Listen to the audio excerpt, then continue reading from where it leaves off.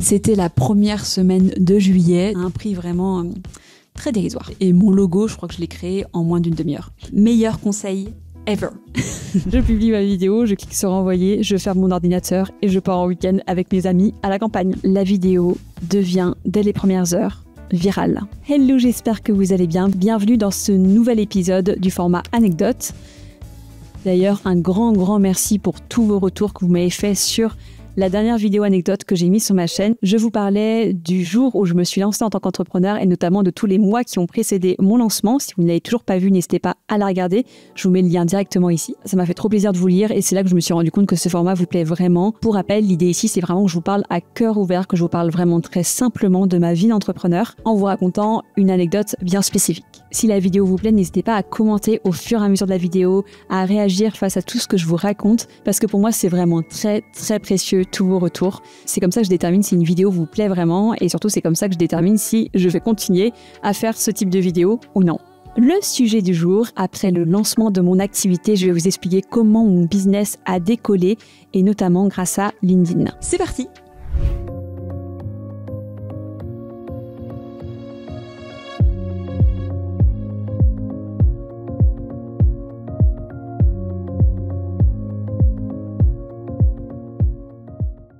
Bon, soyons clairs, mon activité, elle n'a pas décollé tout de suite dès que je me suis lancée.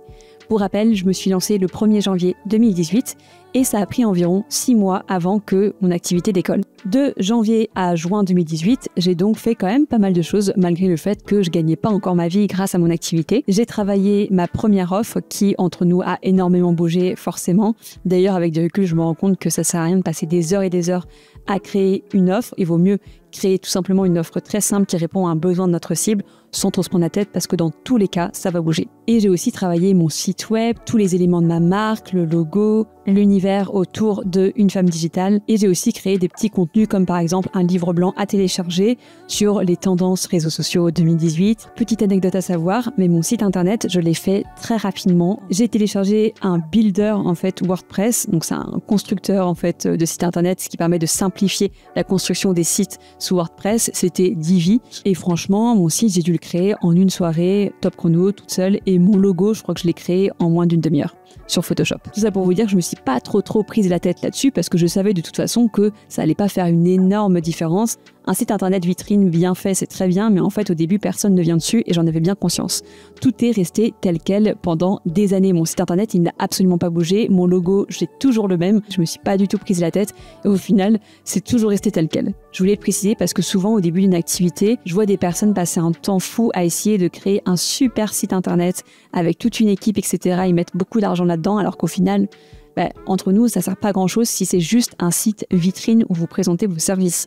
Il faut vraiment faire très simple. En plus de ça, rapidement, j'ai mis en place une stratégie de contenu. J'avais notamment un blog où je publiais des articles sur la communication, donc vraiment des articles qui pourraient plaire à ma cible qui pourraient potentiellement ensuite acheter mes services. Et ces articles-là, je les partageais sur mon compte Twitter parce que du coup, j'avais mon compte Twitter que j'avais créé depuis un an ou deux déjà, avec euh, près de 20 000 abonnés, donc euh, vraiment très précieux pour moi.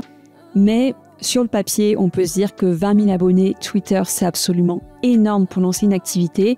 Sauf que la réalité, c'est que ce compte m'apportait de moins en moins d'opportunités et je vais vous expliquer pourquoi.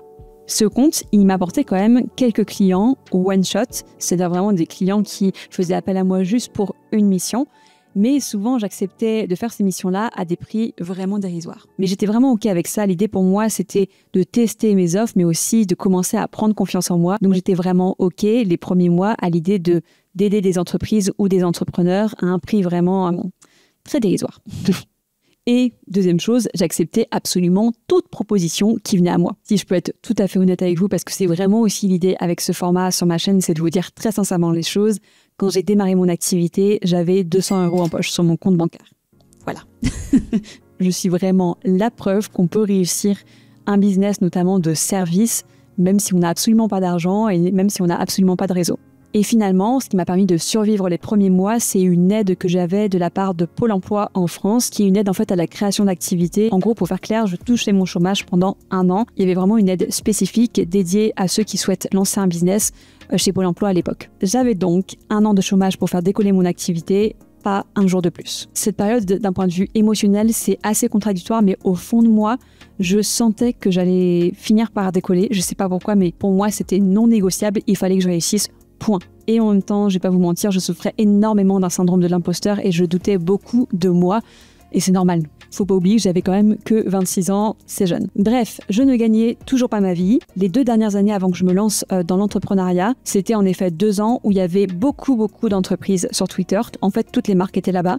Tous les professionnels de la communication et du marketing étaient là-bas, les community managers aussi. Et en fait, quand je me suis lancée, même si j'avais une belle communauté sur Twitter, même si je publiais régulièrement et même si mes tweets étaient quand même pas mal retweetés, en fait, ça ne me permettait pas de trouver des clients. Je sentais que ma cible principale, c'est-à-dire les entreprises, les professionnels de la communication, n'était plus sur Twitter. Il a donc fallu que je prenne une grande décision. Donc, pour résumer, j'ai 25 ans, j'ai presque 20 000 abonnés sur Twitter, des professionnels de la communication, des entrepreneurs, et ça c'est vraiment très cool. Et là, clairement, mon ego aurait pu prendre le dessus et m'influencer. J'aurais pu vraiment me dire, non mais c'est bon, j'ai une communauté sur Twitter, je vais continuer de publier pour la gloire, entre guillemets, quitte à ne pas faire décoller mon business du tout, parce que faut pas oublier que publier sur un réseau social, ça prend du temps. Donc j'aurais pu me dire, bah c'est pas grave, tout ce temps-là, je vais continuer à publier sur Twitter parce que j'ai une communauté dessus. Mais je vous avoue, cette idée ne m'est même pas passée à l'esprit en fait. C'est là que je me rends compte que les chiffres que parfois j'ai sur les réseaux sociaux ne me montent pas du tout à la tête parce que j'ai conscience que c'est qu'un outil en fait. Et vraiment, je vois les choses comme ça. Un réseau social n'est qu'un outil. Vraiment, pour moi, c'est un message hyper important à faire passer. Pour tous ceux qui commencent à avoir des résultats sur les réseaux sociaux, c'est très chouette, mais ne vous en gargarisez pas parce que c'est pas du tout une fin en soi et il n'y a pas du tout de quoi prendre la grosse tête, mais vraiment pas. C'est juste un outil. Et pour moi, un outil me sert à atteindre un objectif. Ici, mon objectif premier dans la vie, c'était de trouver des clients, de faire décoller mon business. Si Twitter ne me permettait pas de le faire, même si j'avais des abonnés sur ce réseau, ça me posait aucun problème de le quitter. En mai 2018, je découvre qu'il y a des freelances sur Instagram qui commencent à partager leur quotidien d'indépendant et franchement, leur contenu marche plutôt bien. On sent qu'il y a des petites communautés de freelance qui commencent à se créer sur ce réseau. Ni une, ni deux, ça m'inspire, ça me motive et je décide de me lancer sur Instagram. Mon objectif premier sur ce réseau était simplement de partager mon quotidien d'entrepreneur. J'avais vraiment envie de créer une communauté de freelance et d'indépendants, tout simplement pour qu'on puisse se sentir un petit peu moins seul dans notre quotidien. Mais j'oubliais pas que mes clients potentiels, c'était plutôt des entreprises un petit peu plus développées. Du coup, je décide d'aller chercher un petit peu où elles sont en 2018, en mai 2018 et je réalise qu'elle commence vraiment très sérieusement à être sur LinkedIn. À l'époque, il y avait quand même assez peu de personnes qui publiaient vraiment sérieusement sur ce réseau. LinkedIn existait depuis déjà très très longtemps, mais beaucoup de personnes le considéraient comme une simple plateforme de CV, alors qu'il y avait un énorme coup à faire si on le prenait sérieusement et qu'on le considérait réellement comme un réseau social. Donc, j'ai décidé de me lancer sur LinkedIn. Je commence donc à publier sur LinkedIn et j'ai vraiment envie d'approfondir un petit peu cette partie-là de l'anecdote parce que je pense vraiment que ça va vous servir si vous démarrez sur un réseau social. Ce qu'il faut savoir, c'est que sur chacun des réseaux sociaux, il y a des codes, il y a des tendances et clairement, il faut les respecter pour réussir, réussir à se reconnaître notamment. Mais là, on arrive sur un réseau social où les gens publiaient très très peu, où les gens publiaient un petit peu comme ils le sentaient. Donc il y avait vraiment tout à faire. Le premier réflexe que j'ai eu, je pense que c'est un peu le réflexe qu'on a tous, c'est que j'ai décidé de publier exactement les mêmes choses que j'ai publiées sur Twitter. Donc, ce que j'ai fait, c'est que j'ai partagé des actualités de communication, des nouveautés sous forme d'articles. Donc, en gros, mon post, c'était simplement une petite phrase, puis le partage d'un article, exactement comme je le faisais sur Twitter. Et de temps en temps, je partageais aussi un petit peu de mon actualité, mais d'une manière vraiment très très simple, une petite phrase, une photo, voilà terminé. C'était vraiment les prémices de LinkedIn et je faisais des tests, comme je le fais à chaque fois que je me lance sur un réseau social. Bon, franchement, soyons honnêtes, ça ne prenait pas beaucoup, ça ne fonctionnait même pas du tout. Rapidement, j'ai compris que même s'il n'y avait pas des codes extrêmement définis sur LinkedIn, il y avait quand même des tendances qui commençaient à se définir en termes de publication qui n'étaient absolument pas les mêmes que sur Twitter. En fait, à l'époque, certains publiaient leurs actualités et ça marchait plutôt bien parce que c'était des personnes connues. Donc ils étaient naturellement très suivis. Mais comment faire quand on n'est pas du tout connu Quand on part totalement de zéro et qu'on n'a absolument aucun réseau? Comment est-ce que je pouvais me démarquer facilement pour faire décoller mon activité. Parce qu'il faut savoir un truc avec moi, c'est que j'aime vraiment quand les choses vont vite, très vite. Je me dis à chaque fois, ok, je veux bien traverser cette fameuse traversée du désert dont je vous ai parlé dans une autre de mes vidéos de ma chaîne YouTube, publier, publier sans avoir de j'aime ni de commentaires sur les publications, parce que c'est le début et que c'est normal, mais franchement, rapidement, je veux des résultats. Et là, il y a quelque chose qui commence à me trotter un tout petit peu dans la tête. Depuis que je suis adolescente, je suis passionnée par le format vidéo. À 14 ans déjà, je m'amusais à tourner et à monter des petites vidéos qu'on faisait avec une copine, on faisait des petits clips musicaux et on s'amusait à monter ça pendant des heures et des heures. J'ai vraiment senti qu'il y avait un coup à jouer avec la vidéo sur LinkedIn. De un, parce que personne ne faisait de vidéos à l'époque, personne ne publiait de vidéos sur ce réseau. C'était donc pour moi un moyen réel de me démarquer et d'innover. Et d'ailleurs, à savoir, petite anecdote dans cette anecdote, que Très peu de personnes encore aujourd'hui publient des vidéos sur LinkedIn. Donc si jamais cette euh, anecdote vous inspire, vous pouvez toujours vous lancer en vidéo sur LinkedIn et ce sera toujours un moyen de vous démarquer parce que très peu de personnes publient ce format sur ce réseau. J'ai franchement l'impression d'être l'une des rares francophones à faire ça encore aujourd'hui. Et la deuxième raison pour laquelle je me suis dit que ça pouvait être vraiment une super idée, je me suis dit, bon, j'ai donné quelques petits ateliers à droite à gauche, j'ai fait face à des petits publics comme ça, et je savais très bien que par pur instinct, tous les gens qui m'avaient connu dans ma vie, que ce soit mon entourage personnel, mais aussi euh, des collègues de mon ancienne école ou des collègues de euh, mes anciennes entreprises où j'étais stagiaire, apprenti, etc. Je savais très bien que en me voyant en vidéo, ils auraient envie de me soutenir en mettant un j'aime ou même encore mieux un commentaire. C'est un petit peu un petit réflexe qu'on a tous, mais quand on voit pour la première fois une personne qu'on connaît en vidéo sur les réseaux, et c'est encore le cas aujourd'hui, on a trop envie de la soutenir en fait. C'est quand même un gros pas, la vidéo, que très peu de personnes font parce que énormément de personnes ont très peur de parler face caméra et ont très peur de diffuser des vidéos d'eux sur les réseaux sociaux. Donc rien que de voir d'autres personnes le faire, notamment des personnes que l'on a connues, et eh bien naturellement, si on est un petit peu bienveillant et empathique, on va naturellement aimer et commenter la vidéo. Je savais donc à l'avance que j'aurais beaucoup plus de réactions sous cette publication que sous des posts écrits et que ça pourrait être un vrai moyen pour moi de me faire connaître auprès des personnes qui ne me connaissent pas. Pourquoi? Parce que LinkedIn a un algorithme absolument génial pour ça, qui est toujours le même d'ailleurs aujourd'hui, c'est que quand un de vos contacts aime ou commente votre publication, en fait, un j'aime équivaut à un partage. En aimant votre contenu ou en le commentant, il va en fait partager ce contenu-là à ses propres contacts. C'est extrêmement précieux parce que ça signifie que les posts peuvent être très très très viraux les gens ne savent absolument pas qu'un j'aime et un commentaire, ça équivaut à un partage. Donc, ils aiment et ils commentent comme ils le feraient sur n'importe quel autre réseau. Sauf que, en attendant, à chaque fois qu'ils le font, ça partage notre publication à leur contact. C'est très très très puissant, je l'ai compris très très vite et je me suis dit, ok, si je me lance en vidéo et que des personnes aiment et commentent cette vidéo juste par simple soutien, eh bien en fait inconsciemment, ils vont partager ma publication à tous leurs contacts. J'ai donc décidé de me lancer un petit challenge, tourner, monter et publier quatre vidéos que j'allais ensuite publier sur YouTube, mais que j'allais bien sûr publier sur LinkedIn. La décision est prise, je vais faire ma première vidéo. Et pour que ça aille vite, mon compagnon François, chef d'entreprise également, m'a dit on est lundi, tu as jusqu'à vendredi pour publier ta vidéo. Vendredi, ta vidéo, elle est sortie. Meilleur conseil Moi qui suis d'une nature assez perfectionniste et très angoissée, je n'ai pas le choix, j'ai 5 jours pour faire ma vidéo. J'avais du matériel vidéo, d'ailleurs, entre parenthèses, aujourd'hui c'est plus nécessaire d'avoir du matériel vidéo professionnel comme ça, on peut clairement tourner avec un petit trépied, sans smartphone, et on se met face à la lumière du jour, et hop, c'est bon, c'est parti, on est lancé. Un petit micro-cravate aussi, c'est pas mal. Euh, d'ailleurs, vous pouvez vraiment l'acheter sur Amazon sans problème. Je vous ai mis d'ailleurs dans la description tout mon matériel vidéo que j'ai acheté depuis le début de mon activité. Donc n'hésitez pas à aller checker si ça vous intéresse. Mais du coup, clairement, les deux premiers jours, je fais des tests audiovisuels, j'achète ce qu'il me manque en termes de matériel, je choisis un lieu de tournage. Bon, pour moi, c'était mon salon, tout simplement. Et viennent alors les problématiques, notamment quel sujet aborder. Et j'ai décidé, en fait, de prendre simplement la plus grosse problématique de mes potentiels clients à l'époque, qui était pourquoi se lancer sur chacun des réseaux sociaux. J'ai donc décidé que le sujet de ma première vidéo allait être les 8 raisons de se lancer sur Instagram en tant qu'entreprise. La deuxième vidéo allait être simplement pourquoi se lancer sur LinkedIn en tant qu'entreprise, en tant qu'entrepreneur. La troisième, ça allait être la même chose mais pour Twitter. Et la quatrième pour YouTube. Deuxième problématique que je rencontre, je commence à faire des tests vidéo et je me rends compte que ma voix m'insupporte. Mais alors vraiment, je la trouve insupportable. Et maintenant, je comprends pourquoi, parce qu'en fait, c'est purement scientifique. Quand on se lance en vidéo pour la première fois, ou même quand on parle face à un micro pour la première fois et qu'on s'écoute, c'est tout à fait normal de ne pas supporter sa voix parce qu'on ne l'entend pas pareil. Je vais donc voir mon compagnon François et je lui dis mais c'est pas possible là, il y a un gros problème, ma voix elle rend pas bien. Et là il me regarde il me dit mais non mais en fait c'est juste ta voix, totalement naturelle. Et ça me fait rire cette anecdote parce que sur le coup, ça m'a un petit peu vexé. Et en même temps, je me suis dit, bon, bah, si c'est ma voix, il faut juste que je l'accepte en fait. On va pas chipoter, on va se lancer. En bref, je mets mon ego de côté et je me lance. Ça, c'est aussi vraiment un conseil que j'ai à vous donner si vous vous lancez face caméra ou même euh, en podcast par exemple. Ne vous prenez pas trop la tête en fait. C'est tout à fait normal de pas se supporter au début.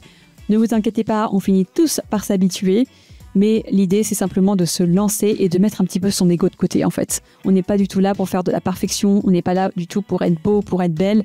Le but du jeu, c'est de délivrer un vrai message. Vient le jour du tournage, ça y est, je vais tourner ma première vidéo. J'étais tellement un petit peu mal à l'aise face à cette caméra, face à ces énormes spots lumière que je m'étais acheté. Ce que j'ai fait, en fait, c'est que j'ai écrit tout le script à l'avance et que je lisais une phrase, puis je la disais face caméra, puis je m'arrêtais, puis je lisais la deuxième phrase, je la disais face caméra, puis je m'arrêtais et je faisais confiance à la joie du montage. Parce que je savais très bien que j'allais pouvoir profiter du montage. C'est vrai qu'au début, on peut totalement faire ça. On dit simplement une seule phrase, puis ensuite on coupe les silences en fait au montage, on coupe tous les bugs, tous les e, etc. Et au final, ça fait un très bon montage et ça se voit pas du tout en fait. Et ne pensez pas que tout le monde improvise face caméra dès le début, c'est complètement faux. Tout le monde bug sur les mots. Énormément de personnes ont des scripts et s'amusent à faire exactement la même technique que je vous raconte pour démarrer. N'oubliez pas que derrière chaque vidéo, il y a du montage et qu'en fait, on est tous pareils, on bug tous sur les mots. Les rushs de cette vidéo ne ressemblaient absolument à rien, mais c'est pas grave, peu importe. L'idée, c'était d'avoir quand même les phrases bien dites, puis ensuite, j'allais passer au montage. Honnêtement, je me rappelle que j'étais épuisée après ce premier tournage. C'est vraiment très fatigant de tourner une vidéo. Et d'ailleurs, je me cassais systématiquement la voix parce que je parlais très fort. J'avais des quintes de tout et tout. Bref, c'était assez drôle. Et je finissais la journée complètement euh, cassée, complètement fatiguée. Mais c'était pas grave parce qu'au moins la vidéo, elle était tournée. C'était dans la boîte. Je fais donc le montage. Ça me prend beaucoup de temps. Hein. Je crois que j'ai passé toute la journée dessus, vraiment peut-être 12 heures. Enfin, ça prend du temps au début de trouver chaque typo, etc de trouver un petit peu ses marques aussi sur le nouveau logiciel de montage que j'utilisais qui était Final Cut Pro. Mais une fois que c'était terminé, j'étais super fière de moi. J'exporte la vidéo et je me dis, bah ça y est, on est jeudi soir, très très tard. Je vais pouvoir le lendemain lancer ma première vidéo sur les réseaux sociaux. C'était la première semaine de juillet, donc c'était un peu un parti pris aussi de publier ma plus grosse vidéo sur LinkedIn au début du mois de juillet. On se disait en tout cas que sur LinkedIn, ça ne servait à rien de publier puisque les entreprises étaient en vacances. Mais vous allez voir que l'histoire prouve le contraire. En fait, ça peut valoir vraiment le coup de publier l'été parce que justement, les entreprises, les salariés, les managers, etc., traînent un petit peu plus euh, sur LinkedIn l'été parce qu'ils ont un rythme un petit peu plus cool. Donc, je lance ma première vidéo la première semaine de juillet 2018. 6 minutes de vidéo où je donne mes 8 conseils pour se lancer sur Instagram et que je partage sur YouTube, sur Twitter et sur LinkedIn. Arrive le vendredi matin, je me sens très stressée, euh, vraiment la boule au ventre, les palpitations, bref, tout le package. Et je décide de publier ma première vidéo. Donc, première chose, je la mets sur YouTube. Bon, ça, c'était pas extrêmement stressant parce que j'avais aucune communauté. Donc, je savais très bien que j'allais pas faire de vues. Euh, je vous le dis aussi entre parenthèses, mais c'était une vraie envie, un petit rêve aussi depuis des années d'avoir ma propre chaîne YouTube. Donc j'étais très très heureuse de voir ma chaîne YouTube comme ça créée avec la première vidéo. Et vient le moment où il faut que je la publie sur les autres réseaux. Alors, sur euh, Instagram, ça a été assez vite vu parce qu'en fait, on ne peut pas partager de liens sur Instagram. À l'époque, on ne pouvait pas le faire. Donc, j'ai juste simplement dit que euh, je me lançais sur YouTube. Mais bon, je savais que simplement euh, les quelques personnes qui me suivaient allaient me voir. Ça me stressait pas plus que ça. Puis, je décide de la publier sur Twitter. Donc là, je prends un peu plus de risques parce que pour le coup, j'ai quand même une petite communauté qui me suit. Donc ça y est, le fait de publier ce tweet-là, c'était un énorme pas pour moi je le publie, puis je décide de publier le post sur LinkedIn. J'écris un petit texte, je me rappelle, assez rapidement, avec vraiment la phrase d'accroche, même si à l'époque on parlait pas du tout de tous ces détails-là encore. D'ailleurs, je la publie en format horizontal. Euh, elle dure euh, plusieurs minutes. C'est très long pour LinkedIn. Maintenant, aujourd'hui, on pourrait absolument plus faire ça, mais je le fais. Et là, vous allez me dire, génial. Quels ont été les résultats? Comment tu as réagi? Qu'est-ce que tu as fait les premières heures? Eh bien, en bonne, grande, courageuse, je vous raconte vraiment tout sur cette chaîne. C'est c'est dingue. Je publie ma vidéo, je clique sur envoyer, je ferme mon ordinateur et je pars en week-end avec mes amis à la campagne. Je vous jure que c'est vrai. je crois que c'était vraiment pour moi un moyen de me protéger. J'avais trop peur des réactions, j'avais trop peur des commentaires, j'avais peur de ce qu'on allait penser de moi. Donc je préférais tout couper quelques heures et partir en week-end et répondre plus tard aux commentaires. Avec du recul, c'était une très mauvaise stratégie parce qu'en fait, il faut répondre aux commentaires le plus rapidement possible. C'est comme ça vraiment que vous pouvez faire en sorte qu'un post fasse le buzz. L'algorithme va vraiment prendre en compte le fait que vous répondiez rapidement et il va aussi prendre en compte le nombre de commentaires sur votre publication. Donc plus vous répondez, plus vous doublez le nombre de commentaires en fait. C'était une mauvaise stratégie avec du recul, mais bon voilà, je faisais comme je pouvais, euh, voilà avec les moyens du bord, c'est-à-dire avec mon stress, mon anxiété, euh, mon petit âge de 25 ans, je le répète quand même. J'arrive donc à la maison de campagne avec mes proches et je décide de me connecter une fois arrivé pour voir un petit peu ce qui se passait. Sur YouTube, très peu de vues. Bon, c'était pas du tout une surprise, comme je vous le disais. Au début sur YouTube, on ne fait absolument pas de vues. Euh, l'idée en publiant une vidéo sur YouTube, c'est qu'elle soit bien référencée. Donc, les vues vont arriver au fur et à mesure grâce aux recherches YouTube et aux recherches Google, mais au fur et à mesure des mois. Vraiment, ça prend des mois. Donc j'étais complètement OK avec ça. Sur Twitter, je vois que des gens réagissent, je vois que ça bouge. Et là, c'était la communauté qui me connaissait. Donc même s'il y avait moins de monde sur, ce réseau, je vois que ça bouge, je vois que ça réagit. J'étais trop contente. Il faut savoir que ces gens-là qui me suivaient sur Twitter, ils ne m'avaient jamais vu en vidéo. Donc pour la plupart, ils ne m'avaient juste jamais vu tout court. C'est-à-dire qu'ils ne savaient même pas à quoi je ressemblais, etc. Donc j'étais trop contente de voir ces résultats-là. Sur LinkedIn, c'est là que tout commence. Et en fait, la vidéo devient, dès les premières heures, virale. Elle atteint plus de 500 réactions, ce qui est énorme à l'époque, et propulse la vidéo jusqu'à qu'elle fasse près de 80 000 vues, plus de 80 000 vues. Mais il faut savoir que l'algorithme était vraiment différent à l'époque, donc euh, une vidéo pouvait vraiment exploser comme ça. Aujourd'hui, à titre d'exemple, je fais quand même des dizaines de milliers de vues grâce à mes vidéos.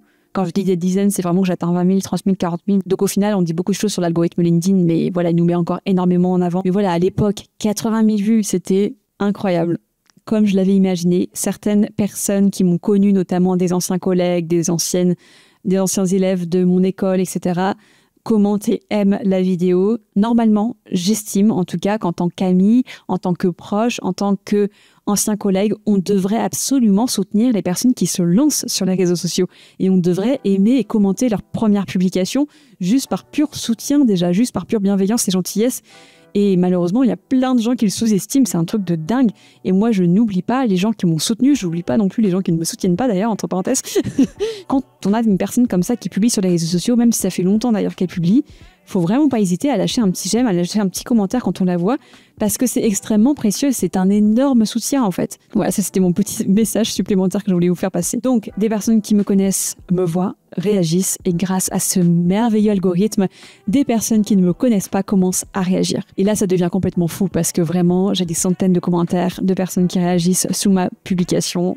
C'est de la folie. Je prends du temps pour répondre à tout le monde. Vraiment, ça c'est primordial. C'est très très très important. Et je finis la journée sur un petit nuage et je passe le week-end sur un petit nuage. Je trouve ça complètement fou. Vraiment, c'est c'est dingue. Je me rappelle que mes potes à l'époque ne, réalisaient pas du tout euh, ce qui m'arrivait. C'était là genre oui, bah, c'est bien. Et moi j'étais là genre mais non, c'est fou. Pour terminer cette petite histoire, la semaine suivante, je lance la deuxième vidéo. Les résultats vont encore plus loin. J'ai 700 j'aime sur la deuxième vidéo où j'explique pourquoi utiliser LinkedIn en tant qu'entreprise.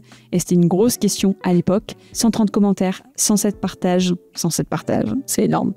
Et plus de 120 000 vues. Et vous allez me dire, oui mais c'est bien. Et alors? Et ton activité Est-ce qu'elle décolle Là, c'est un vrai message aussi que je voulais faire passer, c'est que faire des vues, c'est bien, mais on n'est pas là pour la gloire, clairement, en tant qu'entrepreneur. On s'en fout de la gloire.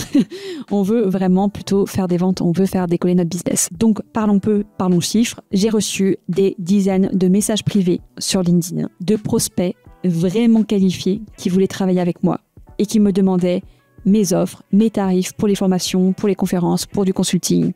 Incroyable. Ça faisait six mois que je galérais à trouver des clients et là, en deux semaines, mon planning est plein jusqu'à la fin de l'année. Les six prochains mois étaient pleins. C'était terminé pour moi, ça y est. Mon chiffre d'affaires avait décollé. Je sais pas si vous réalisez, mais c'est un peu fou. J'ai aussi eu des propositions à ce moment-là pour donner des cours dans l'enseignement supérieur, ce que j'ai accepté les deux premières années de mon activité et ce qui m'a permis aussi de lancer vraiment mon activité et de gagner ma vie euh, les premiers mois. Ça permettait d'avoir un socle en fait. En plus des offres de consulting et de formation, les cours me permettaient d'avoir un socle financier. Je pense que tous les entrepreneurs qui m'écoutent comprendront, mais l'insécurité financière, c'est terrible à vivre. Et de pouvoir vivre les premières années comme ça, euh, avec un socle financier, bah, ça change tout en fait, ça change toute l'expérience. Et cerise sur le gâteau, BFM Business me contacte à l'époque, à ce moment-là, parce qu'ils ont vu mes vidéos et ils souhaitent que je devienne chroniqueuse sur leur site internet qui générait des millions de vues par mois. Ils me proposaient en fait d'écrire des articles dans mon domaine, un article par semaine pour me faire connaître.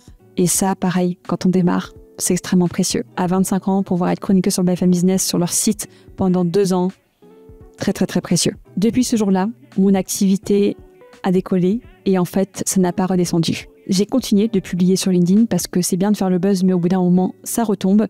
Et c'est vraiment comme ça que j'ai réussi à me créer une communauté et à faire en sorte que les clients viennent à moi naturellement pendant bah, toutes les années où j'étais entrepreneur, c'est-à-dire depuis plus de six ans et demi maintenant. Je faisais juste un post par semaine sur LinkedIn et ça suffisait pour avoir un flux continu de clients qui venaient à moi naturellement. Voilà, peu fou, hein En conclusion, j'ai vraiment pas mal de choses à vous partager. De un, on a plutôt intérêt à bien choisir son réseau social et à mettre vraiment beaucoup d'énergie sur un seul réseau. On a plutôt intérêt aussi à oser quitter un réseau. Il ne faut pas que les chiffres nous montent à la tête. Il ne faut pas qu'on ait un ego mal placé. À partir du moment où notre cible bouge d'un réseau social, il faut bouger avec. Aujourd'hui, LinkedIn, Instagram et YouTube m'apportent tous mes clients parce qu'ils sont très présents sur ces réseaux. Deuxième moralité de l'histoire, évidemment, ces vidéos que j'ai lancées sur LinkedIn ont été une vraie opportunité pour moi, mais après, ça s'est essoufflé. Il ne faut surtout pas s'arrêter là. Un petit buzz, c'est bien, mais ça fait pas tout. C'est à ce moment-là que j'ai pris vraiment conscience de la puissance de LinkedIn et qu'il fallait vraiment le prendre au sérieux. J'ai vraiment donc publié très sérieusement, très régulièrement pendant des années, un post par semaine avec une très grande régularité. Au début, je me suis cherchée, les posts ne fonctionnaient pas forcément, malgré les vidéos que j'avais lancées. Ça ne veut pas dire que tout d'un coup tout va marcher, au contraire. Donc euh, j'ai vraiment dû comprendre les codes du réseau, j'ai vraiment dû me former, j'ai vraiment dû tout apprendre de A à Z, tester plein plein plein de choses avant de faire en sorte que vraiment ça fonctionne. Troisième aussi moralité de l'histoire que je voulais vous raconter, c'est que c'est peut-être une petite erreur que j'ai faite, mais en même temps je pense que tout arrive pour une bonne raison. Comme mon activité a décollé à ce moment-là, j'avais tellement de travail que je manquais clairement de temps pour faire d'autres vidéos. Donc, j'ai pas du tout surfé sur cette vague-là, en fait. J'ai pas lancé de nouvelles vidéos. J'en ai fait quatre, mais j'ai vite vu que la troisième et la quatrième fonctionnaient déjà vraiment moins. J'ai pas, du coup, approfondi la chose parce que je manquais de temps. C'est un petit peu dommage quand j'y repense parce que je me dis peut-être que si j'avais continué sur ma lancée en publiant une vidéo par semaine, par exemple, dans l'idéal, bah, je pense que j'aurais probablement encore plus décollé. Mais c'est quelque chose en même temps que j'accepte complètement parce que c'était juste tout simplement pas le moment et je pouvais pas tout faire. Donc c'est ce que je voulais vous dire aussi. Quand une activité décolle, on n'a pas le temps de tout faire. Donc pour moi, le plus important, c'était au moins d'être très présente sur un seul réseau. Donc j'étais à fond sur LinkedIn, je continuais de publier aussi sur Instagram. Donc déjà, c'était déjà très bien, vraiment. Autre conseil aussi que je retiens de tout ça, c'est que j'ai vraiment choisi, lors de ces premières vidéos, les problématiques, je dirais même la problématique que se posaient absolument à fond toutes mes cibles. Et ça, c'est vraiment un conseil tout bête, mais partez de la base en fait. Quelle est la question principale de votre cible? C'est ce que je vous dis souvent, mais vraiment la clé, c'est le contenu, c'est le sujet. C'est vraiment la clé de tout. Le fait aussi que j'ai proposé un format différent, innovant, donc la vidéo sur LinkedIn, je pense que c'est ce qui a fait une différence, comme vous le savez. Et aussi le fait que j'ai fait une vidéo et que je savais que les gens allaient commenter et aimer juste pour me soutenir, ça aussi, ça fait la différence. Donc n'hésitez pas aussi à essayer de déterminer quel est le format qui va faire un petit peu plus parler que d'autres. Enfin, j'ai pas fait le buzz pour rien. J'étais vraiment pas là pour la gloire, pas du tout. en bonne Capricorne, j'étais là pour le business. Donc je savais très bien ce que je faisais, je savais très bien que ce format pouvait vraiment m'apporter des clients parce qu'il allait convaincre, qu'il allait inspirer confiance. La vidéo, ça inspire tellement confiance. Mais aussi, je me différencie un petit peu, je pense, en vidéo en donnant des conseils très très concrets. J'expliquais vraiment concrètement pourquoi se lancer sur Instagram, pourquoi se lancer sur LinkedIn et je donnais des conseils hyper concrets pour se lancer. Tout en restant toujours dans la problématique principale de ma cible. Mon objectif était très défini. Je voulais recevoir un message privé de ma cible, de mon cœur de cible, disant Ok, j'ai bien compris pourquoi y aller. Maintenant, comment on fait pour y aller? L'idée, c'était vraiment de traiter en vidéo la première question principale que se posait ma cible pour qu'ils me posent la seconde question qui est le comment? Et là, je savais qu'ils allaient avoir besoin de moi. C'est vraiment ici, à ce moment-là, que j'ai compris à quel point les réseaux sociaux pouvaient encore une fois changer ma vie, comme ça a été le cas de Twitter les années précédentes. Là, je me suis dit, waouh, ok, je pense que je vais pouvoir faire en sorte que les clients viennent à moi naturellement grâce à LinkedIn. Et ça, c'était assez incroyable. Tout ça peut se faire en douceur. On n'est pas du tout obligé de faire un petit buzz comme ça au début. Et ça, je le vois chez tous mes clients. Ils font euh, de plus en plus de vues au fur et à mesure. Et en fait, c'est pas plus mal aussi que ça se passe dans la douceur comme ça, que ça se passe au fur et à mesure. Comme ça, ça permet de tout consolider, de construire ses offres au fur et à mesure, etc.